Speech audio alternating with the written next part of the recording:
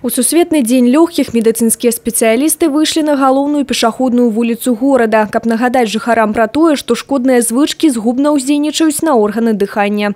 Прайсці тэсты пры неабходнасці атрымаць інфармацыйныя адукацыйныя матэрыялы з рэкамендацыямі спецыялістаў, а таксама накіраванне на абследаванне ў брэскі абласны супрацьсухотны дыспансер.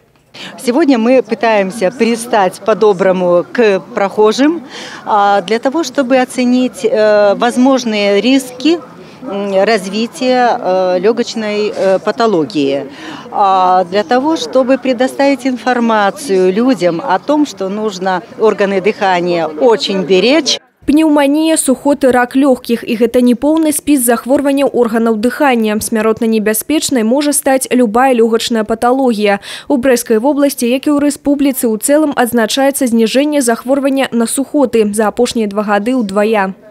По итогу этого полугодия мы имеем заболеваемость туберкулезом, впервые выявленными всеми формами, 12 на 100 тысяч населения. Изменились подходы к диагностике туберкулеза. Мы можем сегодня ставить диагноз уже в течение буквально трех часов предварительный диагноз, не имея модели лекарственной чувствительности.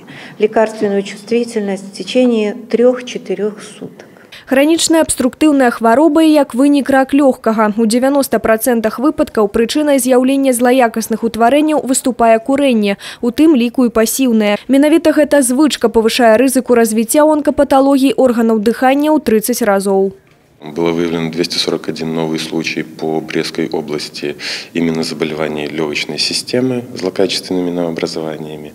Э, большая часть э, относится к районным центрам, порядка 70 случаев приходится на город. На фоне предыдущих лет и общего роста онкозаболеваемости сохраняется тенденция роста онкозаболеваемости. Аднак смяротнасць ад захворвання ў дадзенай лакалізацыі знізілася, адзначаюць спецыялісты. Гэта звязана з укараненнем методык скрынінгу і выяўленнем захворванняў на ранняй стадыі. Галоўнае своечасова звярнуцца па дапамогу. Если человека а, беспокоит а, кашель, а, даже по утрам, если появляется какая-то мокрота, гнойная, негнойная, если отмечает появление одышки, если появляются какие-то звуки в грудной клетке при дыхании, хрипота, свист груди, то это, естественно, является прямыми показаниями к обращению к пульмонологу. Спецыялісты нагадваюць, не трэба ігнараваць штогадовае флюораграфічнае абследаванне. Менавіта яно дазваляе выявіць парушэнне ў рабоце органаў дыхання на самых ранніх стадыях, а значыць своечасова ўступіць у барацьбу з захворваннем. Анастасія Кудзіч, Тыграна Капяна, Александр Сівіцкі, тэлерадыёкампанія Брэст.